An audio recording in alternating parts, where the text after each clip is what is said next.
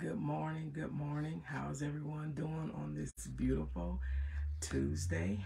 I am back with today's daily devotional. It's a good one.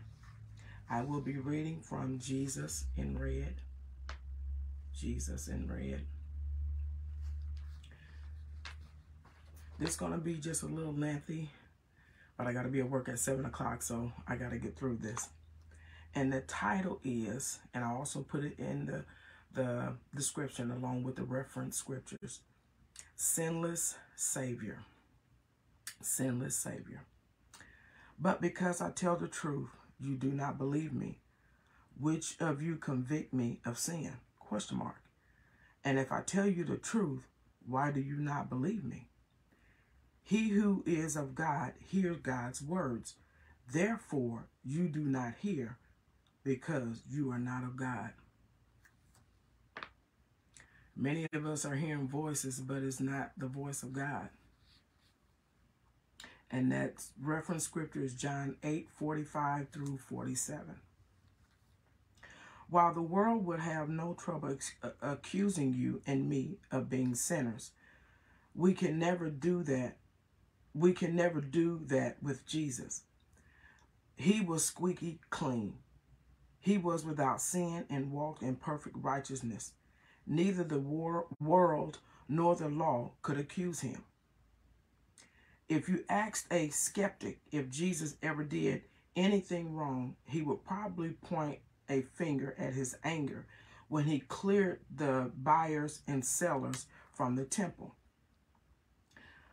But who cannot rejoice at the thought of God clearing out the Okay, I had to televangelist of his day. And the definition of televangelist is someone who makes regular television broadcasts to promote a particular form of Christianity and raise money for particular Christian groups or projects. There's always going to be someone that's going to be in control of doing things that shouldn't be done. If he wasn't angry at evil, he wouldn't be good. Wrath against evil is evidence of goodness of God. The world often complains about hypocrisy, but we cannot charge Jesus with that sin. None of his accusers could find fault with him so why didn't they believe his words? Jesus once again put his finger on the problem. They were not of God. Sometimes we just got to be honest and just acknowledge that our behavior does not deflect or reflect um, our Father. It just doesn't. they were children of the devil. And it was his works that they were doing. You know, the Bible says um, in, in Ephesians 6 and 13, For we wrestle not against flesh and blood, but against principalities, against powers, against the rulers of the darkness of this world, against spiritual wickedness in high places. That's the devil. We wrestle not against flesh and blood. See, sometimes we have to recognize the spirit that is operating through an individual. It doesn't matter the long dress. It doesn't matter the long sleeve. It doesn't matter, you know, the button uh, being so tight to the throat they can't even swallow. It doesn't matter. You got to see the spirit. Soul search.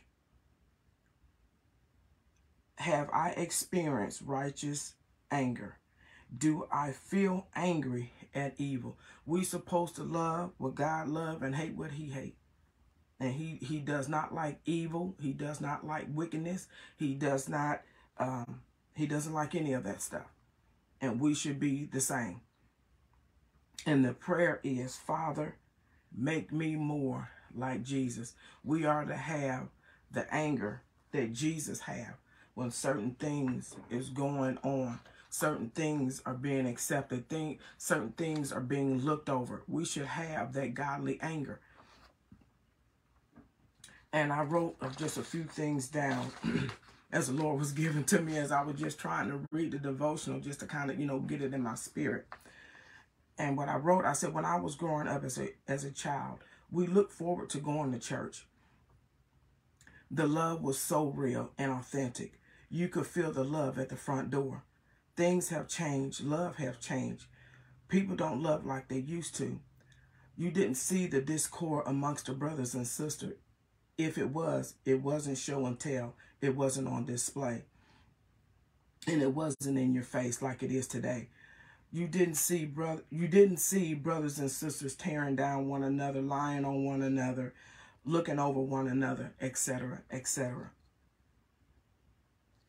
And what I what Lord showed me in these devotionals, the last few devotionals, Jesus really making it known who belongs to the Father and who does not.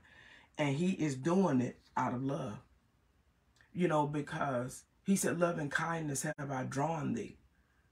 And that's the only way he can draw us if he if he corrects us and convict us out of love or with love. Um, out of love. It's just like when a adopted parent. Okay, hold on. I may be getting into something else. Okay. It's just like um it's just like when an adopted parent sits an adopted child down to let that child know that they were adopted. They are not that they are not the biological parent. There is a way to do that. And that is what Jesus is doing in this hour. He is letting us know some of us have biological father and many of us a adoption father, adopted father. It is imperative to know in this hour who your biological father is. Some of us are in in the middle of identity crisis because we're we're twist between biological and adopted. Because of sin, that's a representation of the adoption. See, when sin entered into the world, that caused that separation. And you know, when there's an adoption process going on, there's a separation there. And so Jesus going to the cross, he's trying to reconnect. He's trying, that his reason for going to the cross was to reconnect us with our biological. That's what that was the reasoning for him going to the cross. So we can reconnect, so we can come back together, so we can be back in fellowship. That's what that's what it was all about. The question that I have today that Jesus dropped in my spirit, where is the Jesus of today? Where is the godly anger over what we see in the four walls of today? We've let down the standards. We have closed our eyes to things that should have been addressed at the front door. We have compromised and allowed things to enter and to enter in for membership, money, acceptance by the world, popularity, competition, and God is not pleased. He's not pleased. Look around. First Peter 4 and 17. For the time has come that judgment must begin at the house of God. And if it begins with us, those that proclaim that he is that he is our father, what shall the end be for them that obey not the gospel of God? He is starting with us. Why? Because we should know better. We should know to obey the gospel. We are without excuse. But not excused because we are professing salvation and that he is our father. He said he's starting there because we, we should know better. We should know how to treat one another. We should know how to love one another. All those things, that's uh, that's what, kindergarten? We should know that stuff. But yet and still, we still falling short and loving one another, treating one another right, respecting one another, being concerned about one another. He has a problem with that. Where is the character? Uh, where is the character of Christ? It's missing in the body of Christ. Hebrews 3 and 8, and I'm almost out of here. Jesus Christ, the same yesterday. Jesus Christ, the same yesterday and today and forevermore. He changes not. We should not be changing or compromising to fit in or to be accepted by the world. If Jesus dwells on the inside of us, The gospel doesn't change because of time, neither should we. We should not be changing or compromising because the times have changed, because of different generation. The gospel remains the same no matter what. And so we got to get back. We almost need to go back to basic 101 love. My son wrote a song, Where is the Love? in the house of God. Where where is the love in the body of Christ? Where is the love? Where is the love? So with that being said, that's that's the end of the devotional. It was short.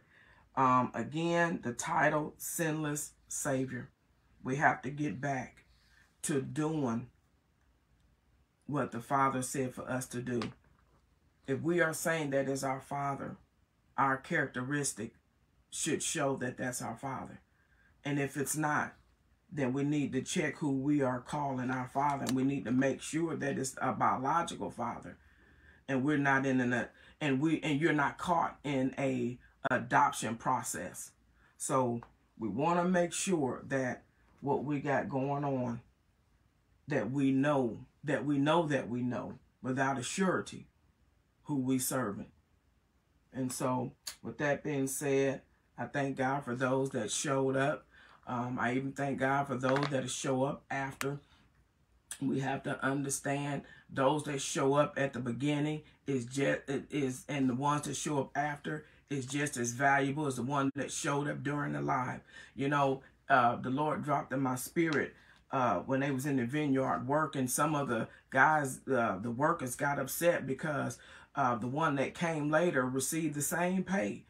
Fair is fair, you know. He said, hey, you know, we, we talked about what, you know, what I was going to pay you and you got that. What you complaining about? you know, sometimes we find the silliest things to complain about. But I just think and I just praise God that he, he, he is just fair across the board. You cannot accuse him of anything.